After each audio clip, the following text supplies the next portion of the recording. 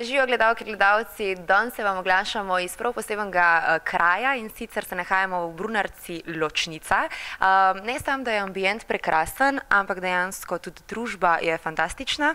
In sicer ob meni sedi uh, pevec, glasbenik Damir Kovačič in verjamem, da za vse tiste, ja, ki ga že poznate, da ni potrebno zgubljati besed, za vse tiste pa ga boste, verjamem, da še spoznali in ja, pozdravljam, živijo, Damir.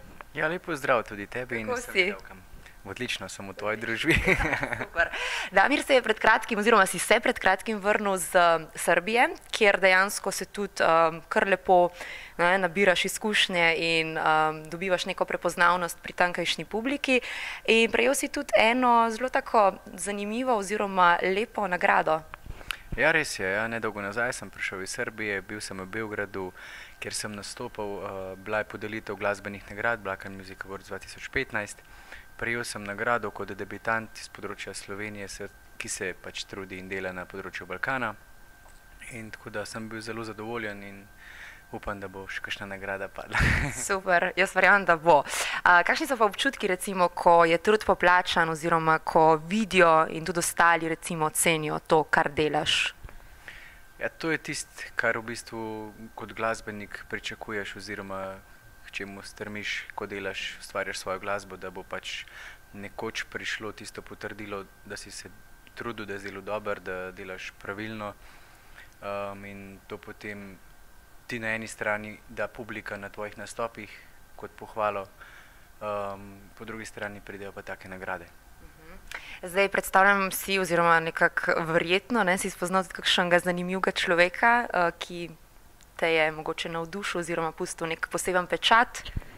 Ja, sej v bistvu na vsakih takih uh, ali festivalih ali glasbenih nagradah, bom rekel, je obstaja priložnost oziroma možnost, da spoznaš glasbenike, producente in tako naprej.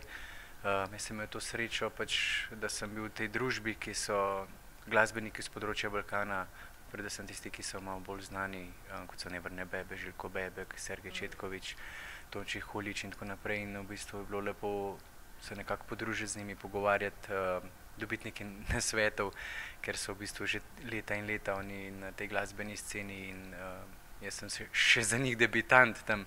In kaj pravijo za tega debitanta?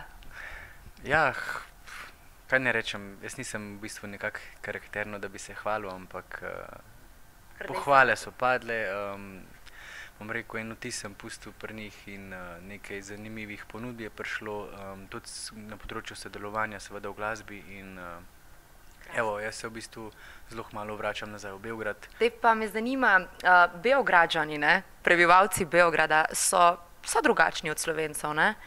Kakšen vtis recimo si pustil pri tamkajšnji publiki? Dobar, povedal si že, da si ne, prejel pohvale od takih velikih imen. Kako te je pa publika sprejela? Ja, glede na to, da sem res v bistvu imel svoj prvi nastop uh -huh. tam v Beogradu um, pred številčno publiko, res uh, čudovita velika dvorana je bila. Um, pa še v bistvu zanimivo je to, da prideš tja, nisi v bistvu prej niti na radijskih postajah, niti na televiziji, pri njih prideš tja kot res debitant in predstaviš se svojo skladbo. Um, res lahko rečem samo to, da po samem nastopu sta dve gledalki pretekle na oder, mi dale rože. Um, to je bilo zanimivo, tako pač uh, Lepo. dvorana je ostala ploskala. Tako da pač zanimivo, no, jaz sem v bistvu bil zelo zadovoljen um, in sem videl, da je odziv tak, kakšnega sem si želel. No. Topu. Ja, predvsem tako, ja, da v bistvu niso niti najmanj bili na nek način um, kot en prišel je Slovenc, uh -huh. da bo pa tukaj nastopil, pa tako, ne, ampak so v bistvu me res toplo sprejeli in uh, me nekako podprli pri tem, kar delam. No. Lepo slišati, zelo lepo. Um, zdaj vem, da si izdal že eno ploščo, ne, leta 2014. Um, kaj pa recimo zdaj pripravljaš? Pripravljaš kaj novega? Kaj so tisti, recimo, je jezik še vedno primarno slovenščina ali tudi ustvarjaš kaj v ne vem, mogoče hrvaščini, srbščini? Ja, jaz v bistvu še vedno sem v toku tega, da na nastopih, radijih, televizijah promoviram svoj album, ki je bil izdan 2013. Um, v bistvu vse to, kar narediš, kar izdaš, kar traja nekaj časa, treba je vložiti veliko, veliko energije za to, da se v bistvu to spromovira, da, da te ljudje pravzaprav spoznajo.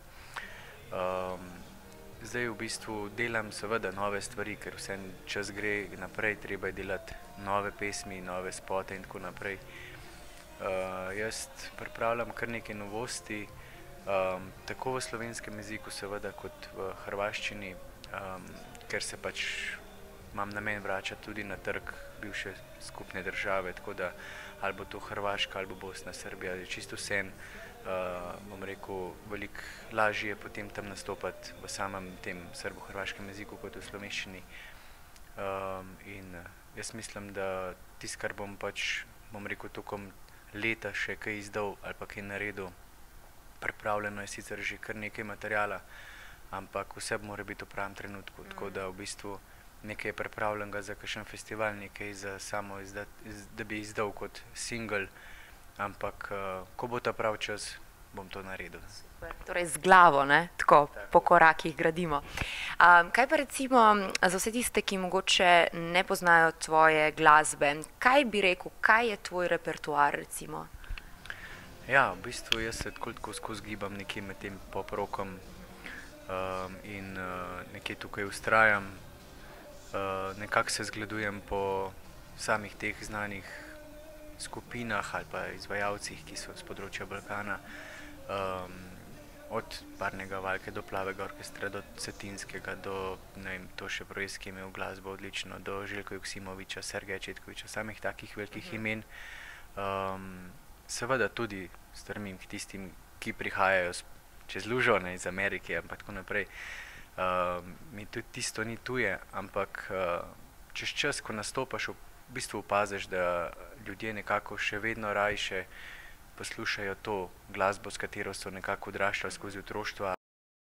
Kaj recimo za glasbenika, ima dovolj priložnosti, da se pokaže? Recimo, predvsem me zanimajo festivali. Vem, da jih je ogromno, da se jih tudi sam nekako recimo tudi eh, ne, udeležuješ, ampak kakšno je tvoje mnenje o samih festivalih? Eh, se vidiš na njih tudi v prihodnje, mogoče kakšen poseben festival? Ja, jaz v bistvu na samih slovenskih festivalih, to, kar jih je še ostalo, eh, nekajkrat sem poskusil poslati svojo skladbo, sicer ni bila sprejeta v ožjem izboru, da bi lahko tam tudi nastopil ampak uh, sem pa v bistvu mogoče imel toliko več sreče, ko sem te skladbe malo predelal, uh, se pravi in aranžmaje in besedila in jih potem naredil vse brhvaščini in sem jih poslal uh, na te manjše festivale po Balkanu. Tam sem bil sprejet, v bistvu naredil nekaj nastopov, na enem sem v bistvu dobil tudi nagrado, ampak zanimivo je to, da v bistvu na nek način mogoče ne vem, aj splet okoliščini tak ali karkoli že, nekako se mi zdi, da karkoli naredim na področju Balkana, se mi veliko več vrat odpre potem za naprej, uh, kot pa sam eh, nastopi tukaj ali pa ko poskušaš tukaj na teh slovenskih festivalih. Um, tako da v bistvu jaz na nek način niti nisem več obremenjen, včasih mi je bilo žal, ker pač nisem prišel blizu, nisem nastopil tam. Vse je v bistvu pomembna reklama, ampak uh, zdaj sem na nek način se v bistvu sprijaznil s tem, da pač niso samo slovenska meja, ne moj prostor za glasbo, tako da uh, nekako. Nisi pa v bupu, ne? Ne, sploh ne, jaz sem jaz grem naprej v bistvu delati tisto, kar me ne veseli, pa je to tukaj ali pa v tujini, me čisto vse. Super. Zdaj pa še, uh, mislim, da za gledalke, um, dajmo, če že imamo Damirja tukaj, dajmo ga mal pretipati, ne? mal bolj osebno pretipati. Uh, Damir, um, a je res, da tebe luna nos? Ja, to je pa res tako zanimivo vprašanje. Ja. Um, Polunin sindrom, pa predlunin sindrom je res obstaja pri meni. Kako pa to zgleda? ja, res. Uh, ne vem, kako ne opišem drugače, ampak takrat, ko si par dni preden res luna rata polna, je enkap enih uh, zmedenih dni, enih čudnih trenutkov, ko sam sebe ne kontroliram. Um, ali je to v privat življenju, ali je to službeno, kako koli že. Tako da v bistvu takrat moram biti pod nadzorom. okay, okay. Recimo, da sem kar zadovoljna z odgovorom. Ampak zdaj pa naslednje vprašanje, ne, pa želim čistočen odgovor. Uh, slišala sem, oziroma nekje sem prebrala, da uh, ti pa je polet, je tebi toliko roče, ali ne vem kaj je razlog, to če so zdaj ti pojasnile, da hodiš naokol brez spodnjic, brez gat. Zdaj pa točno me zanima, kje si takrat, ne? kje te lahko najdemo, ne, punce? Ja, prosim za odgovor, točno, kje. Ja, vidiš, to se navezuje na tisti predlunin in polunin sindrom. Okay. tako, tako da, um, ja, kaj ne, ja, če sem skrivati, sem rekel, jaz v bistvu, jaz sem že enkrat povedal, jaz, jaz bi res prišel tudi nak, če je treba, sam ne smem. Me bojo zaprli, ko bo rekel, ta izmešan hod nak lepo svet. Pa probi enkrat, ne, mogoče pa takrat pol festivalska vrata se odprejo. Ja, to je pol ključ.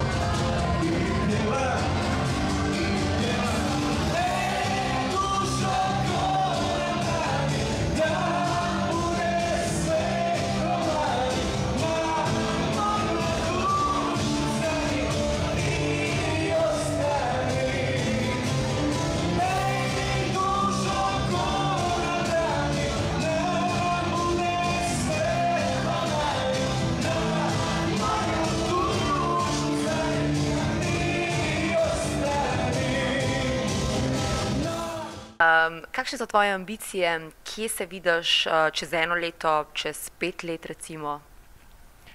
Ja, lej, uh, čez ene pet let se dobiva tle v lučnici pred kaminom, pa se pa debatiramo, da vidimo, kako sem dosegel. Zmenjen. Jaz upam, da, v bistvu, da se bo realizirali te uh, sanje, pa cilje, ki jih imam, ker jih je res ogromen. In, uh, toliko dela je še pred mano. Jaz, misl, jaz sem mislil, da ko bom izdal svojo ploščo, da sem dosegel svoje sanje, ampak jaz sem videl, da sem šele začel zdaj, tak, tako da zdaj se šele garanje začne in uh, jaz upam, da bo veliko nastopov, no, pa predvsem enih dobrih sodelovanj tudi z drugimi glasbeniki, pa ne sem pri nas tudi v tujini, tako da kažejo se poti zelo dobre, zdaj pa sam še treba jih je doseči. Damir, srečno, uh, hvala, da si si vzel čas. Uh, Toliko za enkrat, ne, um, jaz si bom svoj planerček zapisala čez pet let ne, na istem mestu, pa da vidimo, če tale naš Damir ustane, oziroma če bo ustal tako skromen in simpatičen in prijazen. Se gledamo naslednjič. Čau.